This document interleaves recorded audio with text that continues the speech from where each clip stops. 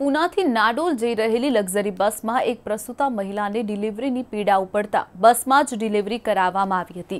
બસમાં મુસાફરી કરી રહેલી આ મહિલાને અમીરઘડ ચેકપોસ્ટ પાસે જ પ્રસૂતિની પીડા ઉપડી હતી ત્યારે આ અંગે એક માલગઢ 108 ની ટીમને જાણ કરાતા બસના મુસાફરો નીચે ઉતારવામાં આવ્યા હતા અને ડોક્ટરની ટીમ પ્રસુતા મહિલાને ડિલિવરી કરાવી હતી અને પ્રસુતા મહિલાને કુખે દીકરીનો જન્મ થયો હતો